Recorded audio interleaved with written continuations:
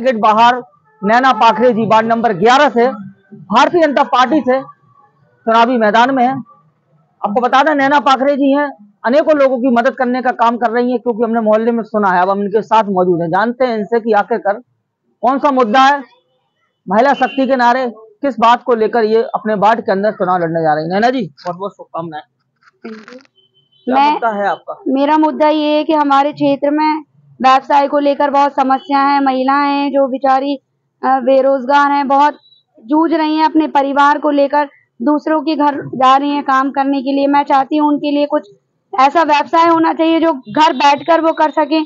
जब वो घर बैठ के ही व्यवसाय करेंगी तो अपने बच्चों को शिक्षा दे पाएँगे। शिक्षा की सबसे ज़्यादा समस्या है हमारे क्षेत्र में, क्योंकि हम जिस क्षेत्र में बैठे हैं, वार्ड नंबर ग्यारह, बाहर सिंहर गेट, यहाँ पे सबसे ज़्यादा जो पॉपुलेशन है वो मोमडेंस की है और इसी वजह से वो अपने बच्चों को शिक्षा नहीं दे पा रहे हैं।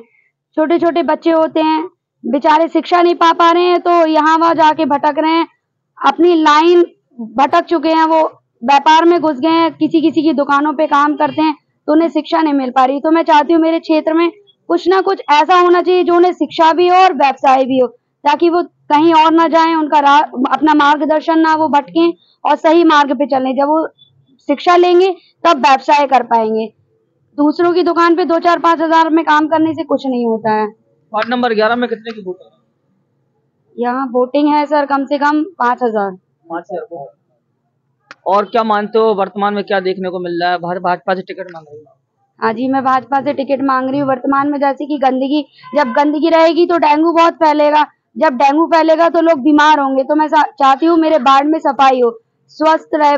मोदी जी ने इतना अच्छा अभियान चलाया था स्वच्छता अभियान उसको लोग फॉलो नहीं कर पा रहे हैं। तो मैं चाहती हूँ कि वो फॉलो करें उस चीज़ को। अगर पार्टी ने टिकट नहीं दिया क्या निर्दलीय चुनाव लड़ सकते नहीं मैं निर्दलीय चुनाव नहीं लड़ूँगी मैं पार्टी के अगेंस्ट नहीं जाऊँगी मुझे पार्टी टिकट देगी और मैं पार्टी से ही यही चाहती हूँ कि वो मुझे टिकट दे। मेरा मोटिव ये नहीं है कि मैं पार्टी से टिकट लूँ और बस बैठ जाऊँ। मेरा मोटिव ये पार्टी मुझे टिकट दे और मैं पार्टी के हित में उनके साथ उनके सहयोग से अपने बाढ़ में काम कर पाऊँ। क्या क्वालिफिकेशन है आपकी? मैं एमएससी कर रखी हूँ बायो से। अच्छा वार्ड में कितने दिनों से आप मेहनत कर रही हूँ जब ये तैयारी? वार्ड में तो मेरा काफ़ी टाइम से मेहनत चली रही है और हमेशा जब लॉकडाउन कोरोना काल चल रहा था तब भी मैंने लोगों की बहुत घर घर जाके बहुत मदद की। बाढ़ में भी और बाढ़ के बाहर भी की है। मैं खुद एक व्यापार से जुड़ी हुई हूँ। मेरा खुद अपना एक बिज़नेस है। मैं ब्यूटिशियन हूँ। मेरा अपना पार्लर है। मैं चलाती हूँ। और मैं चाहती हूँ कि हर महिला हर घर में व्यवसाय होना चाहिए और हर महिला अपने आप में इतनी जुझारू हो कि वो सारे निर्णय अपने आप खुद ले सके। बहुत बहुत धन्यवाद। हमारे बीच में नैना पाखरे जी की पिताजी मौजूद हैं इनसे जानते हैं क्या तैयार है। मैम आप चाहेंगे कि हाँ जाओ? आइए सर।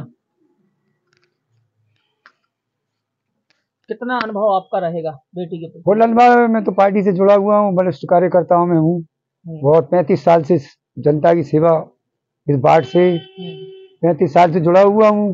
चार बार रविंद्र शुक्ला जी के नेतृत्व में उनको मंत्री तक बना दिया।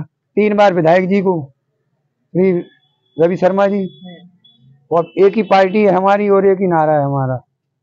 एक ही अभियान है। हम्म, अच्छा काम अच्छा विकास साफ़ सुथरा होना चाहिए। इस मोहल्ले में इतनी वो है। ना नालियाँ ना कचरे ना वो ना देख रेख।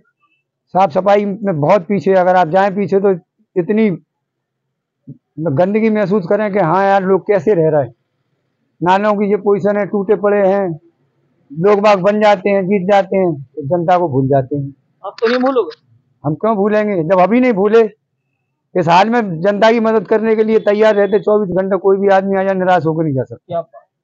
बहुत बहुत बढ़िया धन्यवाद।